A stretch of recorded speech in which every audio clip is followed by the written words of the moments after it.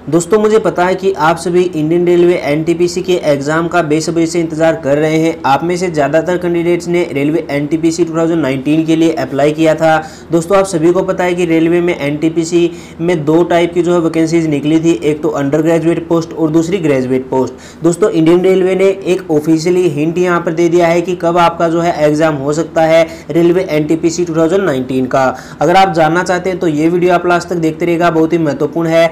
Exam dates के बारे में मैं आपको हिंट देने वाला हूँ। दोस्तों, सबसे पहले मैं आपको बता दूँ, ये जो एग्ज़ाम डेट्स मैं आपको बताऊँगा, ये ऑफिशियली नहीं बताई गई हैं, लेकिन आपको जो है एक हिंट रेलवे ने ऑफिशियली दे दिया है। सबसे पहले दोस्तों, मैं आपको बता दूँ कि रेलवे में पैरामेडिकल पोस्ट के लिए ऑनलाइन फॉर्म जो है आपके निकले थे, और जो पैरामेडिकल पोस्ट थी, वो केवल और केवल मेडिकल स्ट्रीम से जुड़े कैंडिडेट्स के लिए थी, यानी जिसमें आपके पास अगर स्पेशल क्वालिफिकेशन है पैरामेडिकल के लिए आप अप्लाई कर सकते थे।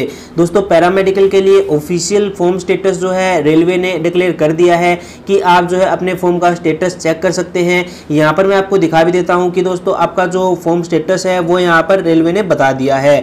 आप दोस्तों अपनी registration ID date of birth से अपना फॉर्म स्टेटस देख सकते हैं। इन्होंने एक और बात दोस्तों यहाँ पर क्लियरली कहा हुआ है कि जो कंप्यूटर बेस्ड टेस्ट होगा पैरामेडिकल पोस्ट के लिए, वो आपका सेकेंड वीक ऑफ़ जुलाई में कंडक्ट कराया जाएगा। दोस्तों यहाँ पर इन्होंने कहा है कि सेकेंड वीक ऑफ़ जुलाई में कंडक्ट कराया जाएगा। यहाँ पर जो नंबर ऑफ़ एप्लीकेशन है, वो काफ़ी कम आए हैं। और दोस्तों मैक्सिमम जो है टू टू थ्री डेज़ में रेलवे जो है इस पैरामेडिकल पोस्ट के लिए एग्ज़ाम ले लेगी। उसके बाद दोस्तों यहाँ पर जो है आपका जो एनटीपीसी का एग्ज़ाम होगा दोस्तों अंडर ग्रेजुएट और ग्रेजुएट पोस्ट के लिए, वो यहाँ पर जुलाई के बाद ही शेड्यूल्ड है। क्योंकि दोस्तों, मान के चलिए कि कोई नोटिफिकेशन आता है जुलाई में तो यहाँ पर अगर रेलवे की एनटीपीसी की डेट्स होंगी, उनका जो नोटिफिकेशन है वो जुलाई में आपको मिल जाएगा। लेकिन जो आपका एग्ज़ाम होगा, जहाँ तक मेरा नुमान है दोस्तों, वो अगस्त में शुरू हो सकता है। यानी अगस्त में आपको, आपका जो एग्ज़ाम है एनटीपीसी का वो शुरू हो सकता है। और एक बात दोस्तों, यहाँ पर ये जो एग्ज़ाम है, ये एक दो दिन नहीं चलेगा बल्कि एक दो महीने चलेगा।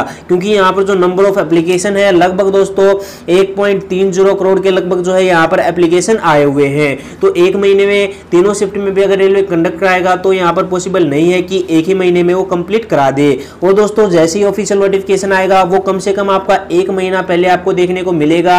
यानी अगर आपका एग्ज़ाम अगस्त में होगा तो यहाँ पर आपको जून के लास्ट में ही ऑफिशियल नोटिफिकेशन मिल जाएगा। पहले आपको फॉर्म स्टेटस मिलेगा, जिस प्रकार आपको, आपका जो रेलवे ग्रुप डी का मिला था पीछे, अब जो है पैरामेडिकल का मिला है तो आपको फॉर्म स्टेटस भी मिलेगा कि आपका फॉर्म एक्सेप्ट हुआ है या फिर रिजेक्ट हुआ है। उसके बाद जो है कुछ टाइम के बाद ही जो है रेलवे एग्ज़ाम डेट्स को भी डिक्लेयर कर देगा।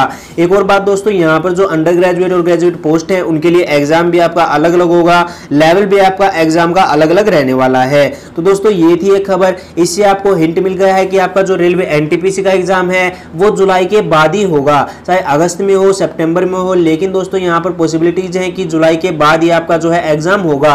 अगर हम ये मान के चले कि जून में आपका एग्ज़ाम हो जाए तो ऐसा बिल्कुल भी पॉसिबल नहीं है। एक महीने में एग्ज़ाम कंडक्ट कराना पॉसिबल नहीं है। अभी दोस्तों इतने ज़्यादा फॉर्म्स एनटीपीसी के लिए आए हैं, उनकी सिक्योरिटी भी करनी रेलवे को ज़रूरी है। तो सिक्योरिटी के बाद दोस्तों आपका फॉर्म स्टेटस आएगा, उसके बाद आपको जो है नोटिफिकेशन मिलेगा कि कब आपका एग्ज़ाम है। उसके बाद दोस्तों आपको एग्ज़ाम डेट्स मिलेंगी और फिर आपके एडमिट कार्ड आएँगे और तब जाके एग्ज़ाम होगा। तो इस प्रोसेस में कम से कम एक से डेढ़ महीना आपका डेफिनेटली लगेगा। तो आपका एग्ज़ाम दोस्तों, जुलाई के बाद है, अगस्त या फिर सितंबर में आपका एग्ज़ाम डेफिनेटली शुरू हो जाएगा। जैसे ही कोई ऑफिशियल अपडेट इसके रिगार्डिंग आता है तो मैं आपको वीडियो के माध्यम से बता दूँगा। तो आप चैनल को सब्सक्राइब करके घंटी का आइकन दबा लीजिए, ताकि आपको हर नई सरकारी नौकरी एडमिट कार्ड एग्ज़ाम रिज़ल्ट से जुड़ी सूचनाओं के अपडेट्स मिलते रहे।